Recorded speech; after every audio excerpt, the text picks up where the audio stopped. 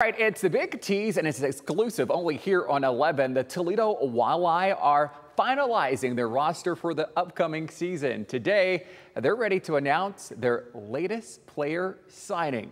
Jordan Strack has the exclusive announcement live outside the Huntington Center. We've been waiting for this one, Jordan.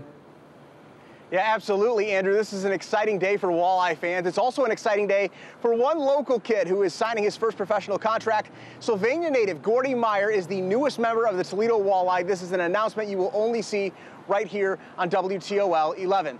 Now, Gordi played, er, Gordi went to Northview High School for a couple of years, and then he went to play his college hockey down at Ohio State, where he was an alternate captain the past, uh, this past season. He's played a ton of hockey for the Buckeyes. He was a steady force on that blue line for three straight teams that went to the NCAA tournament. Would have been a fourth this year if they would have been able to keep playing.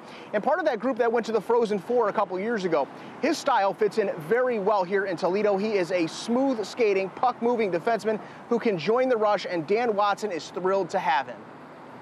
I think it's a special a special time for Gordi and for the Walleye, and and uh, his play certainly warrants him to, to get a contract with us. If not, I think there was some some talks before everything happened with COVID that uh, he may have even gotten an American League chance. So.